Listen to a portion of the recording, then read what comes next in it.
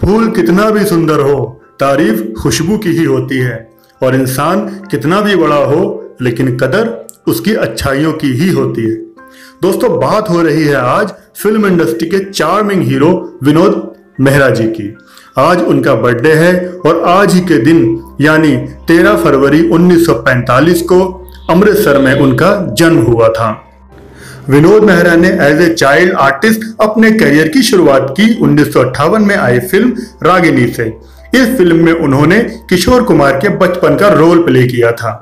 मगर as a hero उनकी पहली फ़िल्म आई 1971 में, नाम था एक थी रीता यह फ़िल्म एक इंग्लिश प्ले पर आधारित थी, जिस प्ले का नाम था ए गर्ल कॉल रीटा 1965 में ऑल इंडिया टैलेंट कॉन्टेस्ट हुआ था, जिसमें लगभग दस हज़ार लोगों ने पार्टिसिपेट किया था। उसमें विनोद मेहरा जी भी थे और विनोद मेहरा जी उस टाइम दूसरे नंबर पर आए थे और ये बाजी हमारे काका यानी राजेश खन्ना जी ने जीती थी। दोस्तों, इसके बाद उनकी फ़िल्मों की बात करें तो 1972 में आई पर्दे के पीछे इसमें योगिता बाली जी ने डेब्यू किया था। उनके अपोजिट हीरोइन थी। उसके बाद रेखा जी के साथ फ़िल्म ऐलान, फिर अमर प्रेम, लाल पत्थर और अनुराग, जो कि 1972 में आई थी, जिससे विनोद मेहरा जी को बहुत ज़्यादा फ़ायदा हुआ और वो as a establish actor establish हो गए। बहुत बेहतरीन काम किया था विनोद मेहरा जी ने इस फ़िल्म में।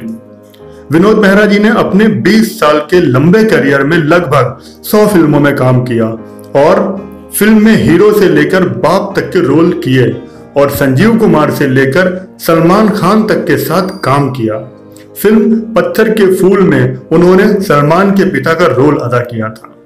उनकी कुछ बेहतरीन फ़िल्मों की बात करें तो नाम आता है नागिन, जानी दुश्मन, घर स्वर्ग नर्क कर्तव्य, साजन बिन सुहागन जुर्माना एक ही रास्ता और इसके साथ ये कैसा इंसाफ स्वीकार किया मैंने और खुददार जो कि अमिताभ बच्चन के साथ थी।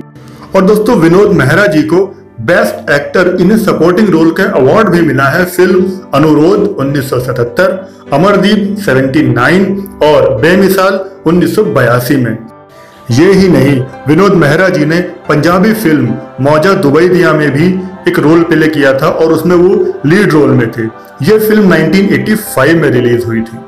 इसके बाद उन्होंने प्रोड्यूसर और डायरेक्टर के तौर पर भी फ़िल्म गुरुदेव बनाई, जिसमें अनिल कपूर और ऋषि कपूर थे। मगर फ़िल्म कंप्लीट होने से पहले ही महज 45 साल की उम्र में, अक्टूबर के महीने में 1990 में विनोद मेहरा जी की हार्ट अटैक से डेथ हो गई।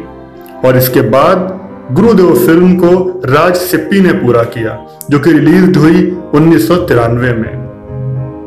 विनोद मेहरा जी के गुजर जाने के बाद भी उनकी कई फ़िल्में आई, जिसमें कुछ नाम हैं, पत्थर के फूल उन्नीस सौ इक्यानवे, इंसानियत उन्नीस और औरत औरत औरत उन्नीस सौ छियानवे में रिलीज़ हुई।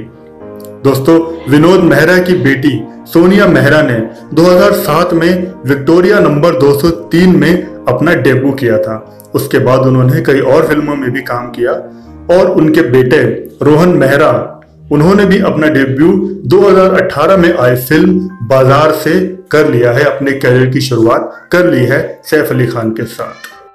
दोस्तों, विनोद मेहरा जी अपने शानदार अभिनय और अपने चार्मिंग लुक्स की वजह से हम सब के दिलों में हमेशा हमेशा ज़िंदा रहेंगे। तो आज की वीडियो में बस इतना ही था।